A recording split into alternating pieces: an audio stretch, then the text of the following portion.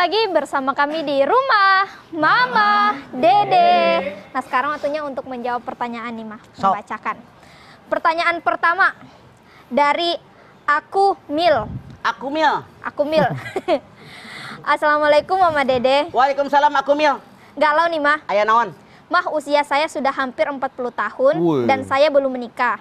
Sebenarnya bukannya saya nggak mau menikah mah, saya pernah melakukan ta'aruf dengan laki-laki yang dari segi agama alhamdulillah sangat baik. Tapi begitu kami ta'aruf dan saya infokan kalau saya mandul, saya nggak bisa memberikan dia anak. Dia menolak menikah dengan saya mah, karena katanya Rasul melarang menikah dengan wanita mandul. Sejak itu saya jadi ragu jika ada laki-laki yang mau mendekati saya.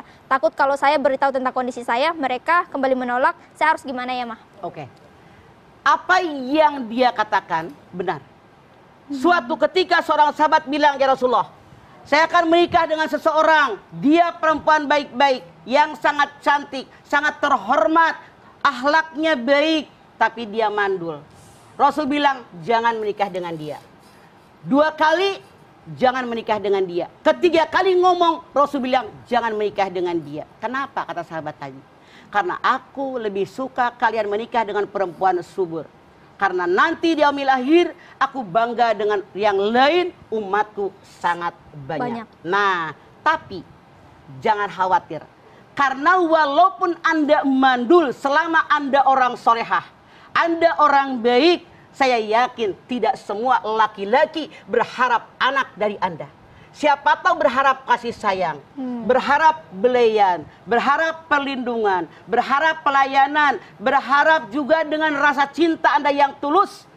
Tidak sedikit saya punya teman, punya saudara, punya tetangga, udah tahu istrinya dia mandul, dia tetap enjoy saja. Mereka ngambil anak Anak, angkat iya. Anak angkat. anak ya. ponakan, Ya. tetangga yang miskin, orang-orang yang yatim, yatim piatu, itu kenyataan.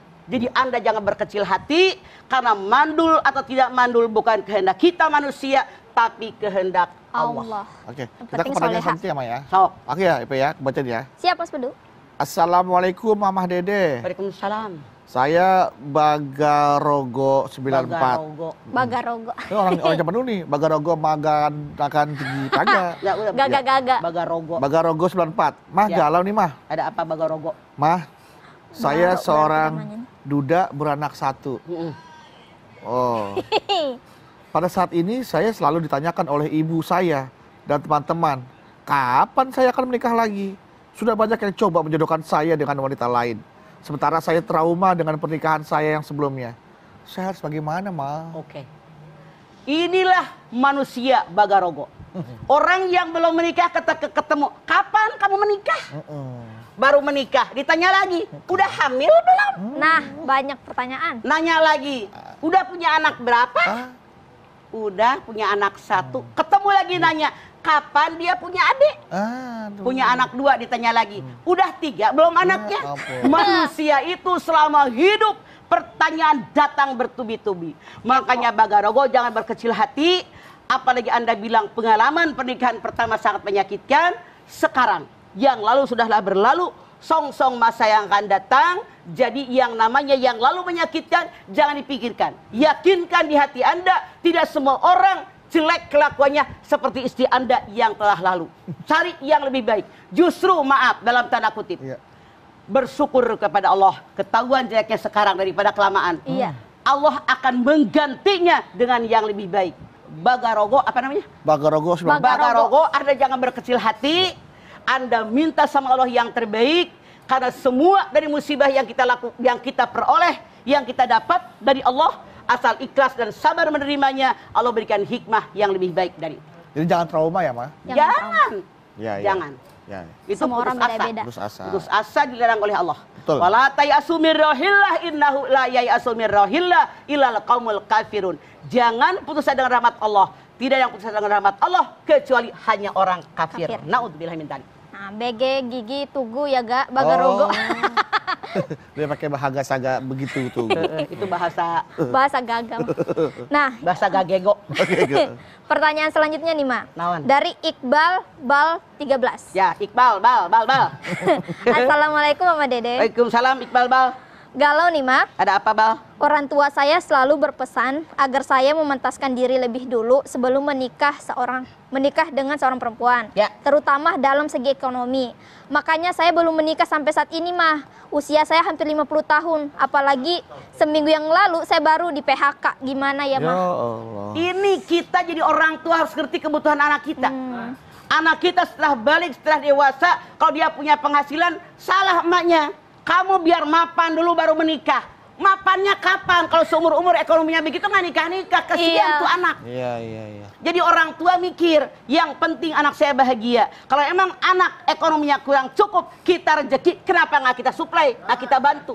Kita modali nih buat usaha. Nih rumah, nih mobil, jalan nih usaha. Hayo mama doain, insya Allah jalan. Modalin ya, Ma. ya. Kalau anda seperti itu menyengsarakan anak anda, kasihan anak anda.